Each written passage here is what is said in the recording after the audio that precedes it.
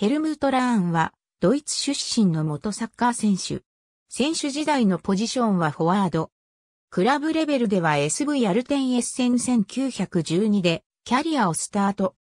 1951年から1959年まで在籍したロートバイスエッセンでは1953年に DFB ポカール、1955年にはドイツ選手権優勝に貢献するなど成功を収めた。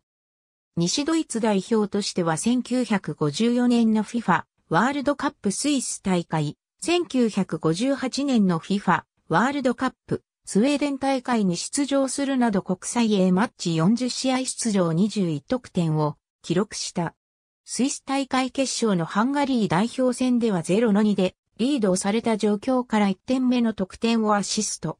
2から2の同点で迎えた後半終了間際にペナルティエリア外から左足で決勝点を決め同国を初優勝に導く活躍を見せた。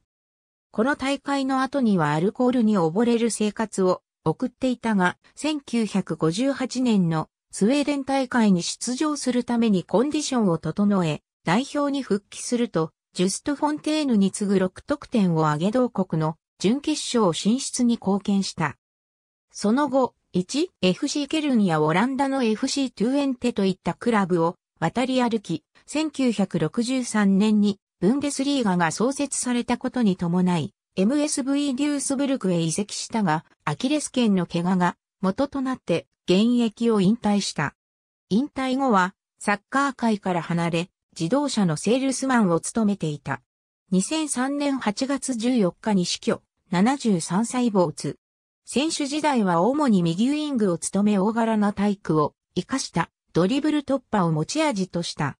また、強いリーダーシップを発揮したことからボスの愛称で呼ばれた。